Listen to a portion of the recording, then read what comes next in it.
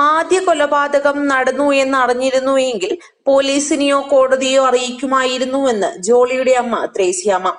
ജോളിയുടെ പ്രവൃത്തി അറിഞ്ഞിരുന്നുവെങ്കിൽ തടയുമായിരുന്നു. ജോളി ഒരു കാര്യവും കുടുംബത്തോട് പറയില്ലായിരുന്നു. നല്ല രീതിയിലാണ് വളർത്തിയത് നല്ല വിദ്യാഭ്യാസവും നൽകി വീട്ടിലെത്തുന്നത് വല്ലപ്പോഴുമായിരുന്നു. ഏറ്റവും ഒടുവിൽ ഓണത്തിനാണ് വീട്ടിൽ വന്നത്. തനിച്ചാണ് വന്നത്. പെരുമാറ്റത്തിൽ ഒരു ഭാവവ്യത്യാസവും തോന്നിയില്ല എന്നും അമ്മ പറയുന്നു.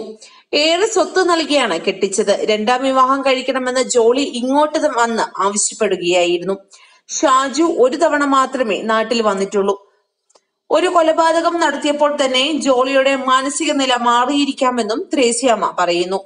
ജോത്സ്യൻ കൃഷ്ണകുമാറിനെ ജോളി സന്ദർശിച്ചിട്ടുണ്ടോ എന്ന് തനിക്കറിയില്ല എന്നും അമ്മ കൂട്ടിച്ചേർത്തു. കൂടുതൽ വാർത്തകൾക്കായി ഈ ചാനൽ സബ്സ്ക്രൈബ് ചെയ്യുക.